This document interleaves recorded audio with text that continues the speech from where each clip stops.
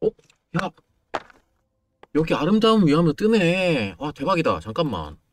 님들아 찾아버렸어요. 이거 진짜 중요한 건데? 와 잠깐만. 아름다움을 위하여가 이거 뜬다고? 와 서브캐스트 무조건 해야 되네.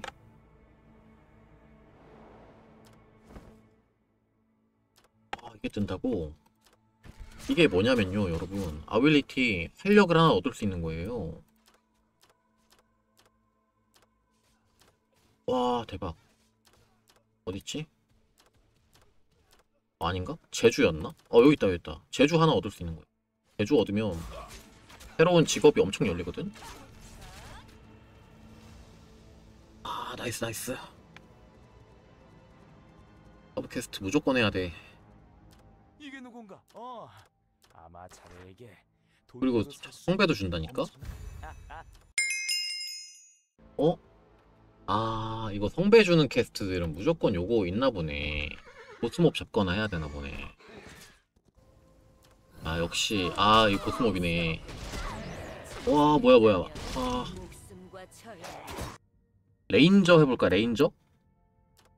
레인저 해볼게. 재정방 재정방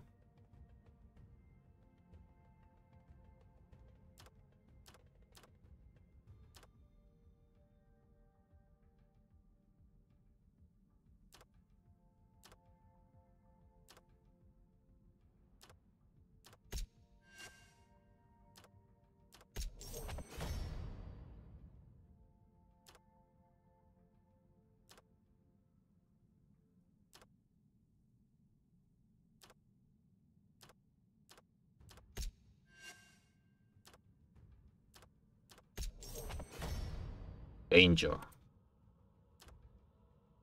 아 ranger는 근데 내가 체력이 빠질 때마다 뭔가 혜택을 보는 애잖아. 2% 감소할 때마다 공속 증가인데. 음, 이런 HP에 비례하여. 요거 체력이 조금 감소돼 있을 때마다 점점 효과를 보는 거네. 체력을 일부러 줄여놔. 와 공격속도 6% 있어. 아 좋은데 100레벨만 돼도 좋은데 이거. 체력이 2%씩 빠질 때마다 0.2%거든요? 근데 최대 공격속도 80이면은 80% 맞거든? 어 1인 HP는 80%까지 적용됩니다. 최대 공격속도 8%아 이거 문제가 있네. 아, 화면이 깜빡여. 화면이 빨개져요. 이러면 안 되는데. 일단 40%로 올리, 올리겠습니다. 10배 계약권은 몸에 무리가 가 오.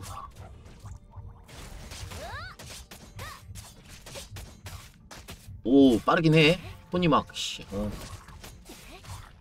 10배 계약권.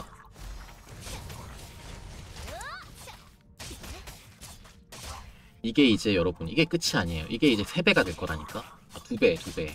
최대 2배까지. 이건 시작일 뿐. 공속 늘어나는 게 2배가 될 거라고. 이 정도면 이제 전설급 아니야?